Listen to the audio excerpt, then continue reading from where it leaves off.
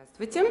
Здравствуйте. Представьтесь, пожалуйста, и расскажите о Э, мероприятии. Сергей Петренко, основатель и руководитель э, коворкинга «Терминал 42», с большим опытом в управлении различными компаниями, поэтому вот э, программа семинара, который сегодня проходит, он уже не в первый раз проходит, это как раз такой обмен, попытка поделиться практическим опытом в области менеджмента.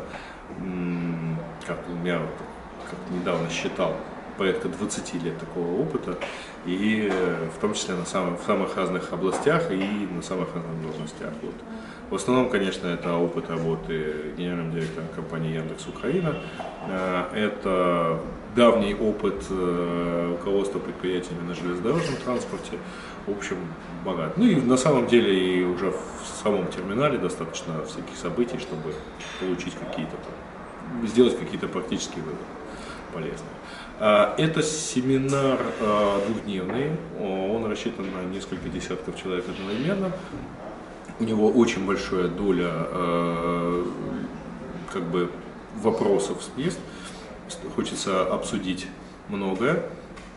Его аудитория – это люди, которые, ну скажем, долго развивали э, свой продукт, э, занимались созданием какого-то сервиса, IT-компании, и вдруг обнаружили, что у них действительно компания, что есть какие-то вещи, которые не описываются там, стандартными там, математическими выражениями, а, есть люди, а, их надо уметь нанимать, с ними надо уметь обращаться, контролировать их работу, А, есть какие-то вещи вроде финансов, бухгалтерского учета, с которыми тоже хорошо бы разбираться.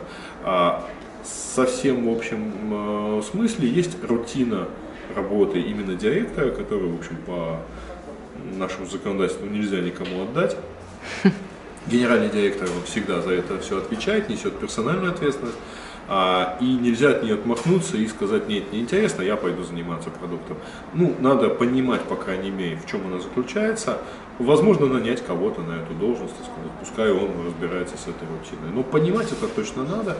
А, кроме того, есть возможность а, поделиться, может быть, наработанными рецептами на решение тех или иных проблем, там, выстраивание процедуры найма, проведение собеседований, а, с тем, ну, с тем прицелом, чтобы никто не занимался разработкой своих собственных велосипедов по девизам, ну вот сейчас мы придумаем, как решать задачи, которые давно всеми решены.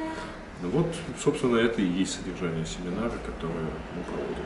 Скажите, пожалуйста, Сергей, э, относительно э, вашей управленческой деятельности в терминале 42 и предыдущей, так сказать, практики, э, вы э, применяете какие-то технологии для управления персоналом, бизнесом? То есть Ну, что подразумевать под технологиями?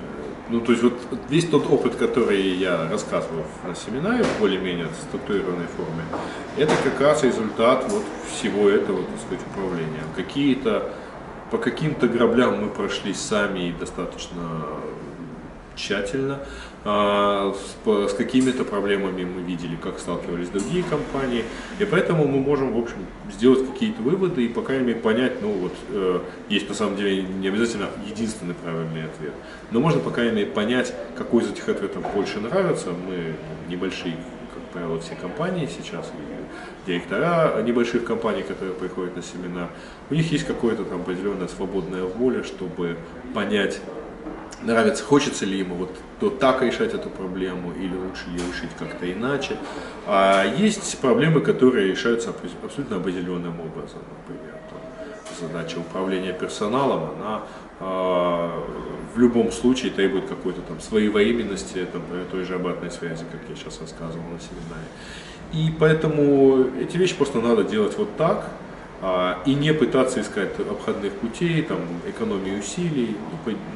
Оно в итоге только хуже, так сказать, даст только худший результат. можно сказать, что вы даете готовый алгоритм э, слушателям? Я, по крайней мере, могу рассказать, что попытка решить эту проблему немножко иначе а, может дать вот такой негативный результат. Попытка ее не решать, сделать вид, что это не проблема вовсе, даст результат еще худший.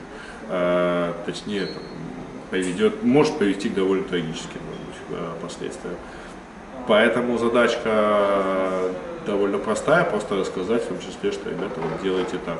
Тем более, что многие с этими задачами уже посталкивались, так сказать, в своей а, практике, и поэтому, собственно, и пришли. Спасибо. А,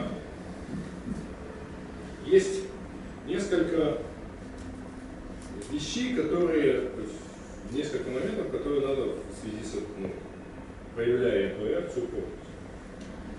А, а реакция должна быть своевременной. Ну, вот, то есть в тот момент или почти там с какой-то регулярностью, как что-то человек сделал, он должен услышать от вас отзыв реакцию. Если он что-то сделал плохо, он должен это узнать.